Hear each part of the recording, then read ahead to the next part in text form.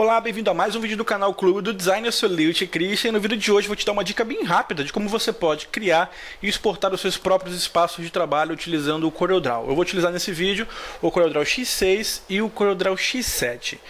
No meu trabalho é muito comum que eu precise trocar de computador, geralmente a equipe de TI precisa instalar o software é, zerado em uma nova máquina. E eu costumo fazer muitas customizações em atalhos de teclado, em configurações de gerenciamento de cores. E quando eu troco de equipamento essas configurações simplesmente se perdem. É justamente por isso que eu utilizo o recurso de exportação de espaço de trabalho do CorelDRAW, de exportação de área de trabalho, que vai me permitir que eu exporte todas as configurações de um computador velho e possa importar essas configurações em um computador novo. Isso inclui é, atalhos de teclado, posições de ferramentas, configurações de gerenciamento de cores, é, telas de aviso, enfim, todos os padrões do seu aplicativo. Então nesse vídeo eu vou te ensinar como você pode criar esse tipo de modificação, tanto no X6 quanto no X7, como você pode exportar esses recursos. Eu vou utilizar primeiro aqui o CorelDRAW X6, que eu acredito que seja o mais é, utilizado até então. Já temos o X7 e o X8 que foi lançado esse ano, mas é basicamente assim. Quando você abre o CorelDRAW, claro, você tem a tela de boas-vindas. Eu costumo fazer algumas modificações, como remover a tela de boas-vindas. É, e quando eu estou trabalhando com uh, o CorelDRAW X6, o CorelDRAW X7, enfim, CorelDRAW em geral, eu costumo atribuir vários atalhos de teclado diferentes, como por exemplo, um exemplo bem, bem claro aqui, é a ferramenta Bezier, que é essa aqui, que é aquela ferramenta que serve para a gente desenhar é, curvas de Bezier, linhas retas e tudo mais, ok? Essa ferramenta, por padrão, ela não tem um atalho de teclado atribuído, e você pode ver que eu já atribuí um atalho de teclado para ela aqui. Outro recurso também que eu gosto de atribuir uma tecla de atalho é o recurso para exibir e ocultar linhas guia. Você observa que ele tem um atalho Ctrl e o ponto e vírgula. Isso porque eu já tenho esse comando lá do, do Adobe InDesign é, onde a gente consegue é, ocultar e, e, mostrar as guias utilizando o Ctrl ponto e vírgula.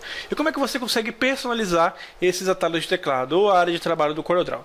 Primeiro você pode fazer isso nas ferramentas de maneira muito rápida, selecionando a ferramenta ou colocando o mouse sobre ela, clicando com o botão direito, apontando para a opção personalizar, em seguida em item de ferramenta, tá? item da barra de ferramenta, e aqui você clica em propriedades. Só toma cuidado para você não acabar excluindo, tá? Clicando em propriedades, ele vai abrir a janela linha de propriedades dessa ferramenta, é só esperar um pouquinho, ele está um pouquinho pesado. E aqui você vai clicar na guia teclas de atalho. A partir daqui você pode clicar e dar um comando, tá? Nesse nova tecla de atalho pode ser Ctrl Alt, Ctrl Alt Y, por exemplo, e você clica em atribuir. Ele vai atribuir essa tecla de atalho. Nesse momento tenho duas teclas, o Q e o Ctrl Alt Y, tá? Eu não vou usar essa aqui, eu vou excluir. Beleza? Então é basicamente assim que você consegue é, inserir qualquer tecla de atalho em qualquer comando ok? E você pode atribuir, inclusive, para os menus também, funciona do mesmo jeito, tá? Se você quiser utilizar o, a janela de opções, você pode ser mais direto, dar um Ctrl J, tá? E aí você, claro, vai ter que procurar as opções de personalização aqui de comandos e aí você vai ter que procurar o comando que você quer para você vir aqui nas teclas de atalho, beleza? É, se você quiser fazer alguma modificação nas barras é, do aplicativo, se eu não me engano é aqui em comandos também, você pode, por exemplo, movimentar algum item, deixa eu ver aqui, deixa eu ver, deixa eu dar uma selecionada aqui no na opção de deslocamento. Vou dar um clique aqui nela, pronto. O, o CorelDRAW já acha automaticamente aqui para mim. Então eu quero adicionar esse deslocamento para ele ficar sempre visível. A gente sabe que o deslocamento só aparece quando a gente não tem nenhum objeto selecionado, né? Então eu quero fazer com que ele fique sempre visível. Eu posso dar um clique nele aqui só para achar ele mais rápido. O CorelDRAW acha para mim nessa janela. E eu posso arrastar ele para a posição que eu quiser. Olha só, vou colocar ele aqui em cima. Eu já usava isso algum tempo atrás.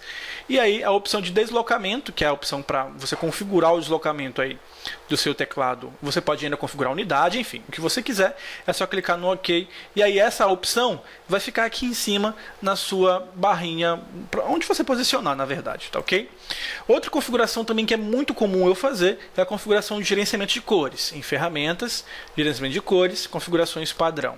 Geralmente eu utilizo o perfil de pré-impressão para a Europa. Aqui no Brasil a gente usa o padrão de cores europeu, tá? Eu já falei sobre isso em alguns vídeos anteriores. E aqui a gente tem algumas configurações que eu gosto de marcar. Eu gosto de marcar o preto puro e gerenciar completamente qualquer inserção de arquivo, importação, copiar ou abrir.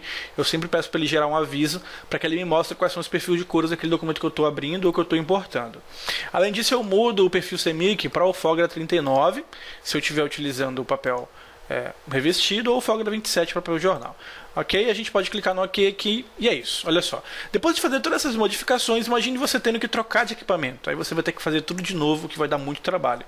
Principalmente se você fizer modificações muito mais complexas ou muito mais modificações. Você pode exportar essas, essas informações utilizando o menu janela e ou, ou, melhor, o menu ferramentas e em seguida clicando em opções. O atalho de teclado é Ctrl J, eu já fiz agora há pouco. Em seguida, você pode, em área de trabalho, selecionar a opção Exportar. É só clicar nessa opção e marcar todas as opções disponíveis. O CorelDRAW, deixa eu dar um fechar aqui, ele permite gerenciar esse espaço de trabalho já há bastante tempo, tá bom?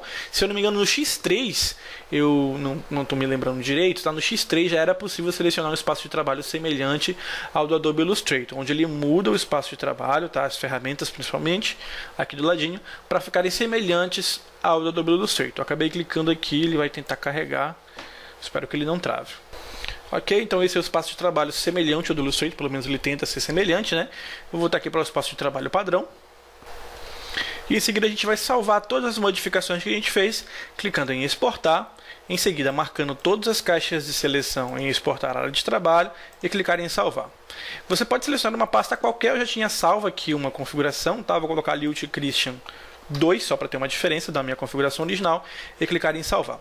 Depois de salvar, você pode fechar a gente vai redefinir as configurações do aplicativo para o padrão de fábrica, tá? Eu vou dar um cancelar aqui e eu vou fechar aqui o meu CorelDRAW X6, beleza? Fechei ele, agora eu vou pressionar o F8, tá? Segurar o F8 e abrir o aplicativo. Quando você segura o F8 e abre o CorelDRAW, tá? Enquanto você mantiver a tecla F8 pressionada é, quando ele estiver abrindo, ele vai mostrar a janelinha para você redefinir o aplicativo, ou seja, ele vai voltar às configurações originais de instalação. Vai voltar aí zerado, tá? É só segurar o F8. Depois clica no sim para confirmar e o CorelDRAW X6 vai voltar à tona totalmente é, resetado, redefinido com as configurações de fábrica. Eu vou dar um OK aqui de instalação, né? Vou dar um OK aqui só para garantir. Eu vou te mostrar aqui, olha, que a ferramenta Bezier não tem o atalho de teclado e nem aqui o menu exibir linhas guias. Agora eu quero importar essa configuração. É só clicar no menu ou pressionar o Ctrl J, que é mais rápido, né? E em seguida vem aqui em importar, vou em procurar e localizo o arquivo que a gente criou, aqui ó, Lute Christian 2, pronto, e clico em abrir. Um detalhe interessante, tá gente, se você já está se perguntando se é possível exportar uma área de trabalho de uma versão anterior para uma mais recente, eu quero exportar uma área de trabalho do X6 e importar para o X7, isso não é possível, tá bom? Não há compatibilidade entre versões, só vale X6, X6, X7, X7. X8, X8 acredito eu também. Depois que você seleciona o arquivo e seleciona as opções para importar, ele vai mostrar aqui que você pode atribuir as modificações ao espaço de trabalho atual, geralmente é o que eu escolho, ou criar uma nova área de trabalho, tá? Para você poder alternar entre uma e outra, tal como acontece no X7, só que no X7 isso é mais facilitado. Vou clicar em avançar deixar tudo como está, clicar em concluir, pronto, é só dar um OK. Todas as configurações, olha, ferramenta Base, o atalho é Q. Eu uso esse atalho para ferramenta Base. Mostrar ou ocultar linhas guias, olha só. É o CTRL e o ponto e vírgula para mostrar e ocultar as linhas guias, beleza? Viu como é fácil? E o mesmo acontece no CorelDRAW X6, ou melhor, no CorelDRAW X7. Eu vou aqui para o CorelDRAW X7, e, é, aqui na, na, na, tela inicial você pode selecionar os espaços de trabalho que já vêm pré-configurados. Geralmente o pessoal quando começa muda para o clássico, que é onde você tem as ferramentas padrão do CorelDRAW X6, é o espaço de trabalho mais semelhante ao CorelDRAW X6. Se você deixar no padrão, muita gente acaba se perdendo, né? Deixa no padrão e acaba se perdendo porque algumas ferramentas ficam escondidas. Então, se você quiser o espaço de trabalho parecido com o X6, selecione o espaço de trabalho clássico na segunda opção aqui da tela inicial, da tela de boas-vindas. É claro que isso também é possível selecionar no menu Janela e selecionando a opção é, área de trabalho, você pode alternar entre os espaços de trabalho Light, Clássico e Padrão e os avançados aqui embaixo, além de outra, caso você já tenha importado ou, nesse caso, acessar o Adobe Illustrator. Aqui funciona do mesmo jeito, tá, gente? Eu tenho aqui os meus atalhos de teclado, deixa eu fechar aqui. Fechei a tela de boas deixa eu criar um novo documento. Pronto, ok? Eu tenho os mesmos atalhos de teclado, o Bezier com a ferramenta com o atalho de teclado Q, o exibir ou ocultar as, as diretrizes aqui, né? Eu não acabei ainda não atribuindo atalho para essa versão, ok? Mas é o contra ponto e vírgula a mesma, a mesma coisa. E aqui em janela, é, em ferramentas, gerenciamento de cores padrão, a mesma situação, padrão de pré-impressão europeu e o Fogra 39 com o meu perfil de cores pré-configurado. Eu posso marcar aqui ainda e clicar no OK. A situação aqui é idêntica, tá? A única diferença é que você já tem a opção disponível no menu janela. Então, em janela, área de trabalho, você já tem a opção para novos, novas áreas, né, para criar novas áreas de trabalho, excluir uma área de trabalho que você já tem criado e para importar e exportar a área de trabalho atual.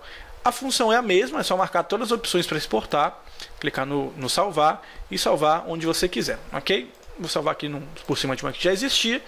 Depois você pode fechar aqui a janelinha depois que ele terminar de exportar.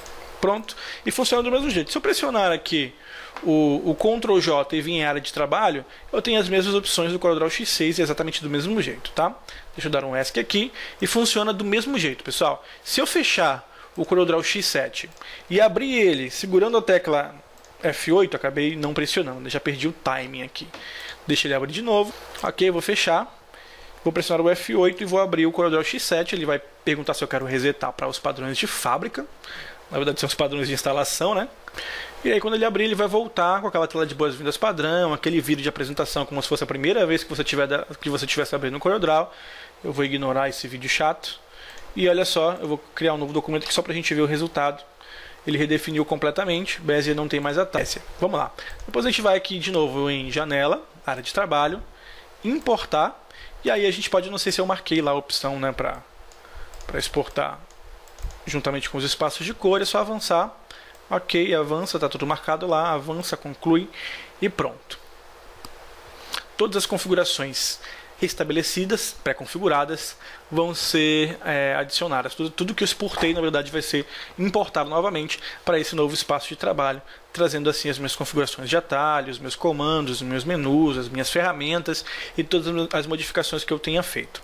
Isso é muito legal se você é, trabalha em equipe, por exemplo, e a equipe usa o mesmo fluxo de trabalho, o mesmo espaço de trabalho, ou se você pretende instalar a mesma configuração em diversos computadores diferentes, é só exportar e ir importando em cada uma das máquinas, enviar por e-mail, você pode deixar salvo em algum lugar, em uma pasta do OneDrive, do Dropbox, do Google Drive para você acessar na rede, é, enfim.